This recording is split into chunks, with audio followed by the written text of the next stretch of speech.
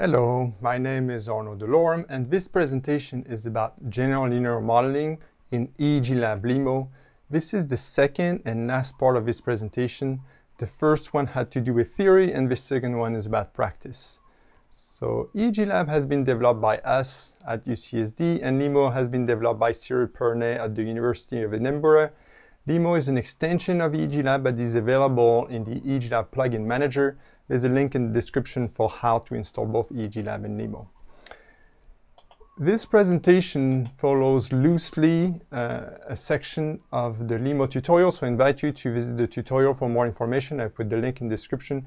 So first, let's get some data. We'll use data from a face presentation experiment which has already become popular. It was published a couple of years ago and it includes MEG, EEG, fMRI, although not simultaneously EEG, fMRI. The original dataset is huge, so we have reformatted it to BIDS dataset that only contains EEG data. BIDS is the brain imaging data structure and it is a way to format your raw data so it contains all the information for other researchers to use. There's a video about BIDS and EEGLAB in the description below, so I'm not going to enter the details of BIDS formatting. In the original data, there were multiple runs for each subject, so we have merged them. We have also formatted scanned electrode positions, so they're available within the BIDS dataset we have corrected event latencies and renamed some events. And we have resampled the data, it's not as, so it's not as large and can be used for tutorials. So it is the raw data with some modifications and all modifications of the comment documented in the README file. The BIDS dataset also contains the EEGLAB script used to convert the original data release uh, with this modified one. So I invite you to download this dataset on openneuro.org. It's about 4 gigabytes.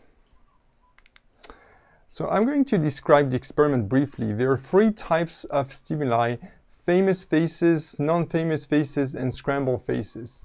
There's also three levels of repetition, first time presentation, second time presentation right after, third time presentation many trials after. Participants pressed the key based on how symmetric they thought each image was. The reason for using this task was because it can be performed equally well on face and non-face stimuli. This accessory task also forces uh, participants to keep attending to the image, images presented to them. Here we need the condition computed per subjects at the first level, so there's nine conditions total, three types of faces by three presentation orders.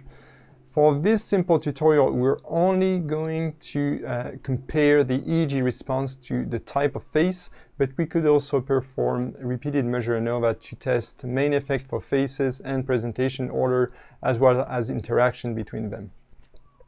I link the LIMO tutorial in the description if you're interested in doing these more advanced analysis. So let's get started. First, make sure you have the right version of EEG Lab and LIMO installed on your environment. Uh, there's a link in the description. Then uh, download the data. After you've downloaded the data, uh, this is how the folder for all participants look like. Then open MATLAB and start uh, EEG Lab. This is the pre-processing script with the different steps needed to pre-process the data. There's a video on pre-processing EEG data in BIDS, so I'm not going to repeat it here. I put the link in the description below. Briefly, first we import the data, second we clean it lightly, third we compute average reference while temporarily interpolating all the bad channels which have been removed, fourth we run ICA and remove bad components, fifth we clean the data more aggressively, this is slightly different from the other pipeline I've presented in the other BIDS video I was referring to. In the other pipeline, we clean the data only once before running ICA and also ICA components are subtracted at the study level, not at the dataset level. Here we do it in two steps uh, because there's a lot of eye movements. And if we clean the data aggressively before running ICA, we're going to remove all of the portions of data containing eye artifacts. Instead, we clean the data lightly to only remove portions of data containing very large artifacts. We run ICA and subtract ICA uh, artifact components, including eye artifact components. Then we clean the resulting data more aggressively to remove smaller artifacts still present in the data. Finally, we extract data epochs and create an EEGLAB study. So this is the script you can actually uh, do, it is, and you can do it easily from the graphic interface as well. And as you do it in the graphic interface, the script gets generated for you. So I will do it quickly in the graphic interface. Again, for more detail, I invite you to look at the video for going from raw data to group level analysis, which I linked in the description. So here we go. And first, we're going to import the BIDS dataset. So that's the folder downloaded for OpenNeuro. There's many options here, and I'm not going to describe them. I refer you to the other video. We've imported the data. Then we're going to remove uh, uh, bad channels. So these are channels 61 from 64 to 64. It depends on your study. And once we remove the channels, uh, we're going to perform uh, artifact rejection using ASR. So that's the first one, that's the light one. So we only first select the first two steps in this case. Here, uh, we apply it. And once it's done, uh, we perform, uh, we're going to perform average reference. So we reference uh, the, the data and we added the, interpolated the electrodes which have been removed and then remove them again. So now we interpolated the data, then we decompose the data using ICA. So here we have to enter an option PCA minus one. So we remove one dimension and because of the average reference process, it should detect automatically the rank, but just in case. Then we label the bad components using IC labels.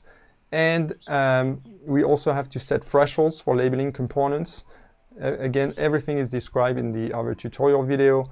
We remove these components from the data. So here it asks us to confirm. And once we do that, we can clean the data a little bit more aggressively. So we do the last two steps of ASR, uh, uh, as shown here. Once we've uh, done that, then we're ready to extract epochs. So these are the types of epochs. These are all the nine types of stimuli, the famous pic pictures, the unfamiliar and the scramble pictures presentation one and two and three. So we've extracted the epoch and uh, basically uh, now we've uh, pre-processed the data. So what's, what's the next step? Well, the next step is to create a study design that maybe use both for LIMO and by EEG Lab native statistics function. So here we'll simply select the three types of stimuli, famous faces, non-famous faces, and scramble faces. And again, we'll do that interactively in EEG Lab. So first, we're going to create a study design. We're going to select the different types of images, here famous, familiar, and unfamiliar. And um, so that's, that's done. And now we're going to rename the design. We're going to call it stimuli uh, because we're comparing different types of stimuli. This is optional, but it's good to have a name uh, you can recognize. And the next step is to have EEG Lab pre-compute measures. Not that this can be done before or after uh, creating a design. Pre-computing measures such as single trial ERP, spectrum, and ERSP is a prerequisite before running LIMO. Not that for ERP, since we already have single trials, there is usually no need to recompute anything unless you choose to change the baseline, as we'll do here. But to be consistent with other measures like spectrums and ERSP, we'll still need to go through these steps. Here, we do not need to remove components labeled for rejection since we've already removed them. We should interpolate channels which were flagged as artifactual in some participants. So I'm going to go through these steps. checking ERP, selecting the baseline, and uh, then pressing OK to perform the pre-computation. And so once it's pre-computed, we can use the standard EEG Lab statistics just to look at the, at the data, in particular channel 65, uh, which was the channel used in the original study. So this is how channel 65 looks like. And I'm going to overlay the three conditions on top of each other so we can see the difference. So here I just change the plotting options. And so here we go. So let's compare with this with the original uh, original one from the, the paper. And so uh, it's you can see that the waveform are quite similar. The time window in EEG Lab is larger, so we can see that the ERP seems to be riding on a very slow oscillation at around 1 Hz.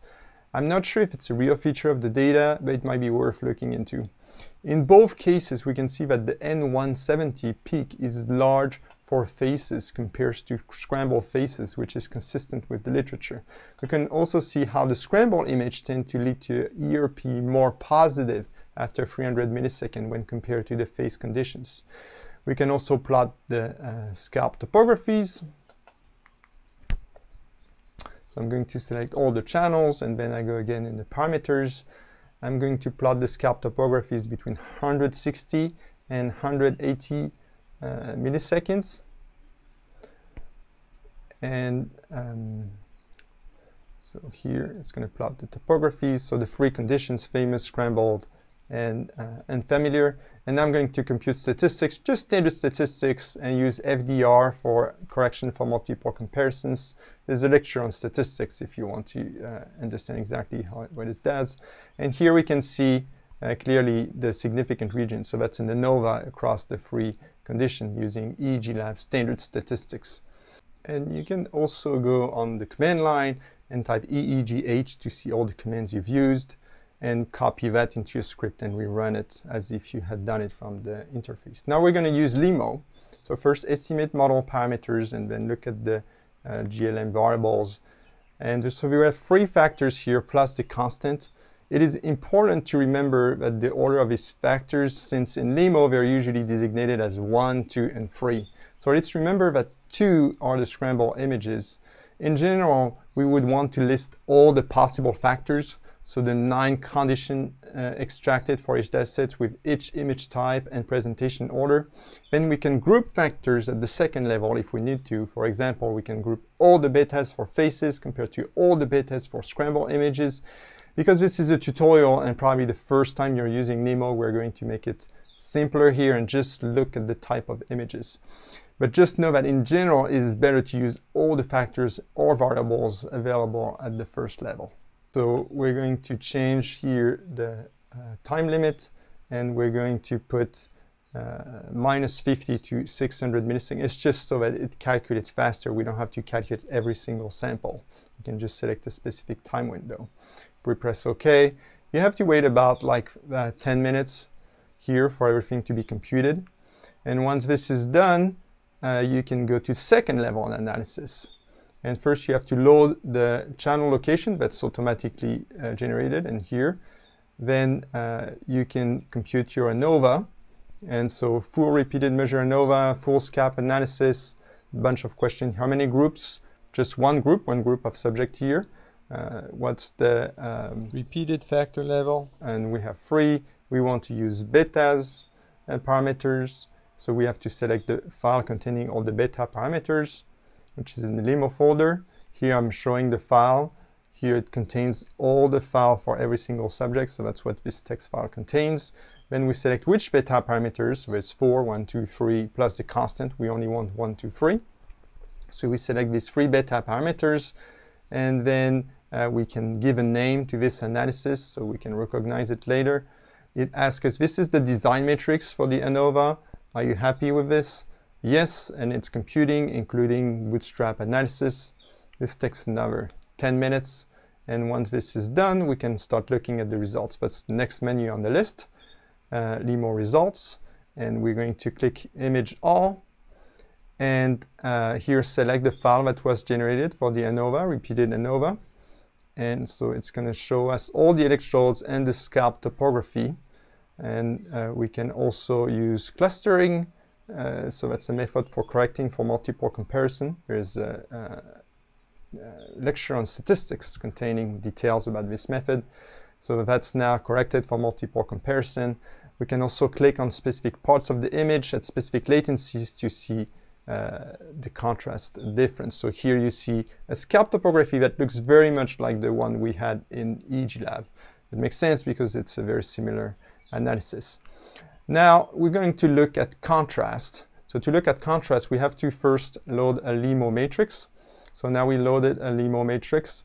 And at this stage, the ANOVA results tells us that where and when those conditions differ. To check which condition uh, differs from the others, post-hoc contrast can be performed between pairs of conditions. So I'm going showing uh, the different contrasts on the screen here.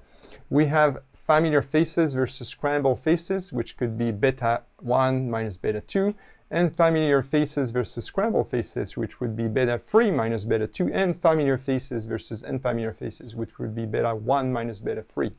Note that these analyses differ from performing ad hoc t-test, mostly because we're computing within the repeated measure ANOVA model, which accounts for all conditions, and also they're not directional because we rely on F statistics. We can also have more complex contrasts. For example, faces versus scramble faces when we have the average of beta 1 and beta 3 compared to beta 2. This compares images containing faces with images not containing faces. Not that even though it seems like a hack to use these contrast matrices, this is exactly what statistical software do when performing post-hoc analysis. So let's try this uh, uh, last one. Here we're going to enter the, the contrast. And just uh, press done. It's asking, do we want to compute bootstrap? Yes, so we're computing all the bootstrap. And now we're going to image these results. So that's the file that's named ESS. You might have to go to the parent folder. And now that's the comparison between faces and not faces. And we can also look at the given channel. So here it's plotting the channel with the most difference, that would be channel 2, along with the 95% confidence interval and the region of significance on the bottom uh, here. We can also correct for uh, multiple comparison using clustering.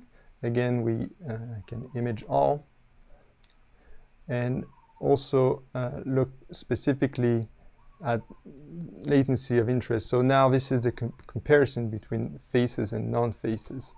And this is very similar to what they found in the original uh, article. So this is the end of uh, this presentation and of the introduction to LIMO. The LIMO tutorial contains many more examples using this dataset and I, I, encourage you to look at it. I want to thank you for your attention and I hope to uh, see you in one of my future videos.